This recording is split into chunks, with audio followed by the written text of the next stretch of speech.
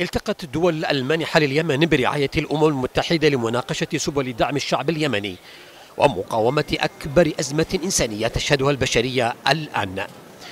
وزير الخارجية إبراهيم العساف قال بأن المملكة تسعى لاستعادة استقرار اليمن وشرعية حكومته مؤكدا بأن ميليشيا الحوثي هي من بدد فرص السلام.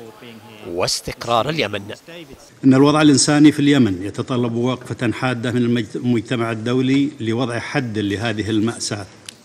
فالماليشيات الحوثية المدعومة من إيران تستمر بإعاقة بإعاقة إيصال المساعدات الإنسانية لمستحقيها وهذه الماليشيات تتعمد فرض الضرائب على الوقود والغاز لتمويل عمليات الإرهابية فضلا عن سرقة المساعدات الإنسانية واستخدامها لأغراض آه، خاصة.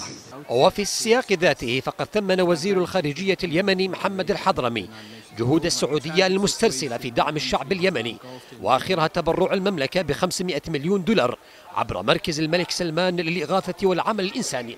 وأكد الحضرمي أن حل الأزمة اليمنية يكمن في تحييد ميليشيا الحوثي عن إيران. ما دام الصراع القائم يمنيا يمنيا مطالبا بتعاون دولي أكبر مع التحالف العربي لإنهاء الأزمة اليمنية.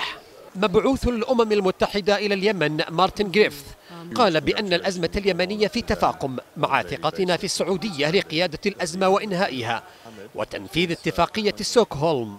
أما ديفيد بيزلي من برنامج الغذاء العالمي قال هناك أزمة شديدة داخل المناطق التي تحت سيطرة الحوثي كما أعلن ممثل الدول المانحة عن دعمهم المتزايد لليمن وتثمين الدعم السعودي الأكبر.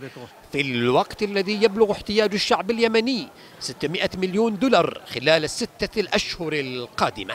إشادة دولية وأممية بمواقف السعودية الإغاثية المتتالية دعما للشعب اليمني فضلا عن دعمها للمبادرات الأممية الأخرى والتي كان من أهم مخرجاتها بقيادة السعودية هو التقاء الدول المانحة هذا اليوم. للإخبارية أحمد القرني من مقر الأمم المتحدة نيويورك.